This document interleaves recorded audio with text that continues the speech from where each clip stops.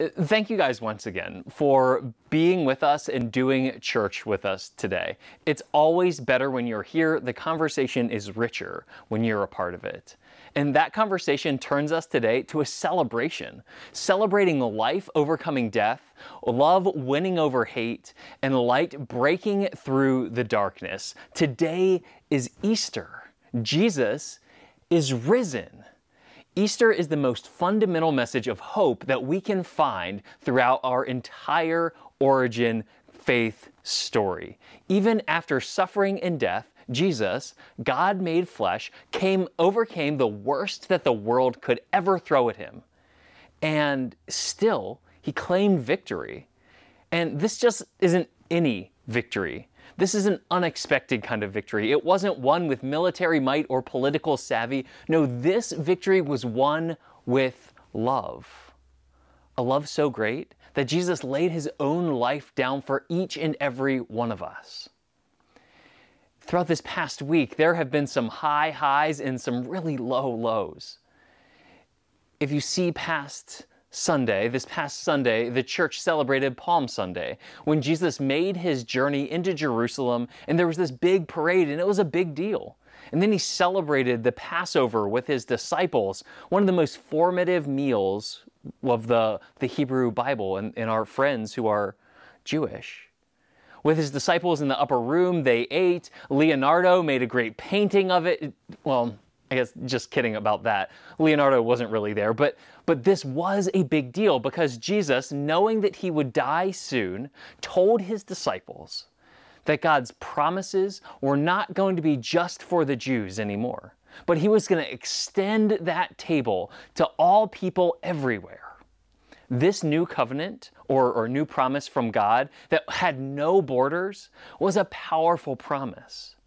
And then just hours later, Jesus was betrayed by a friend and handed over to an angry government, unfairly tried by the church folk who wanted stuff to remain the same rather than welcome new change in the Messiah. Jesus was passed back and forth by the church to the state when finally Roman governor Pontius Pilate affirmed the crucifixion of Jesus when he couldn't see any other way out of this miscarriage of justice and he tried to wash his hands of it. And then, after six hours on the cross, Jesus died and was buried in a borrowed tomb, and all was quiet. Jesus' followers had left, the disciples were in hiding, and the Son of God suffered the worst that the world could throw at him. And then, then on the first day of a new week, some women came to care for the body of their beloved teacher, their Messiah. On that first Easter Sunday, they found this gigantic stone rolled away and the tomb empty. Convinced that they were being fooled or someone had taken their Lord, they turned to leave the tomb and they saw these two men standing at the entrance of that tomb. These two men were messengers from God to make that first Easter proclamation and I'd encourage you to, to say these words along with me. Let's say these powerful words together. Why do you look for the living among the dead? He isn't here. He has been raised. And with this, the women go and run and tell the disciples who were in hiding, and yet the disciples didn't believe these women. They thought that they were literally hysterical from their grief. But it's this foreshadowing that allows us to know something that the other two disciples don't as they make this seven mile walk to Emmaus when a stranger joins their journey. The stranger, of course, is Jesus. We, we know that, that something else is going on, and we know this because of Act 1 in our story. If Jesus would have just come out and said what had happened, if he would have made the claim, the two on the road to Emmaus probably would have quickly found a detour or another path to take them away from this guy who is spouting the impossible. Dead people don't just walk around. And there was no chance that he wasn't really dead when they put him in that tomb. And so, what does Jesus do? He begins to ask questions and he engages the two in conversation. They aren't coerced or manipulated, But through conversation, they begin to see and feel the Spirit at work throughout the past week. They remember all the other teachings. Their doubts and their questions began to come into focus because of the conversation that they were having with their Messiah, with their Lord. Jesus makes space for a conversation because he knows that scare tactics and yelling on street corners doesn't often work. Very rarely. It may do more harm than good.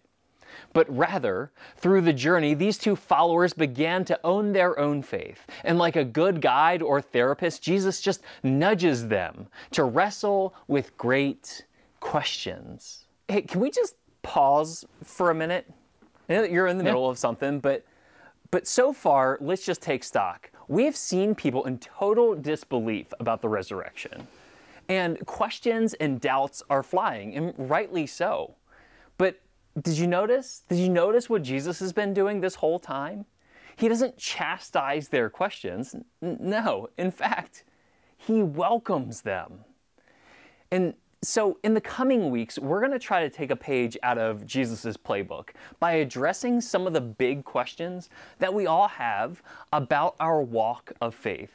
And so, beginning next week, we're starting a series called Practically Faithful. And uh, actually, if you have questions or, or, concerns or you'd like to share some yourself, you can actually go to practicallyfaithful.com right now and ask any kind of question that you have about faith. Like, go ahead, try it this guy won't mind. I promise. Okay? Because I fully believe that there is something special that happens when we ask our questions and work out our own faith that makes it stronger. And what once seemed so unbelievable becomes some of the most beautiful parts of our lives. Anyway, I, am so sorry for the interruption. I just wanted to let you know that questions are welcomed here. When the spirit is, is of meaningful conversation and understanding, it is richer when you are a part of it.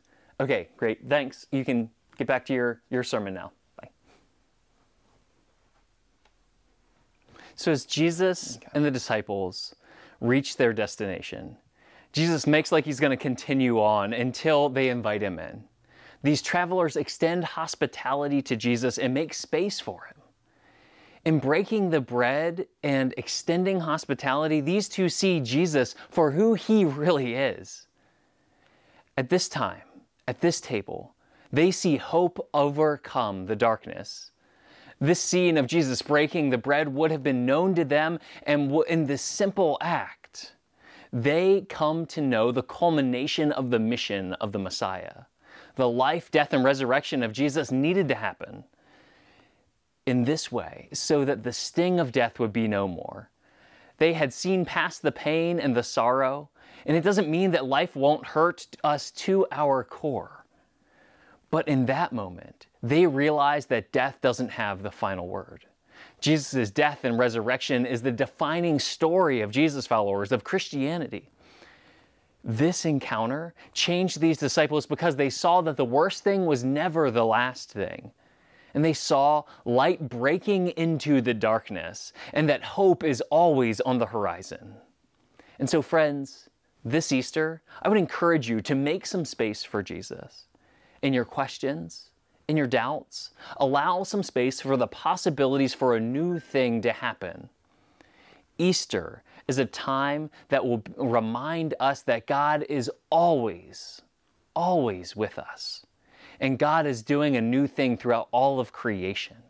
That God is in the business of restoration and making all things new. And that includes you and me and your neighbor. When we journey with Jesus and make space at our table for Him, our eyes will be opened to the hope that proclaims, Why? Are you looking for the living among the dead?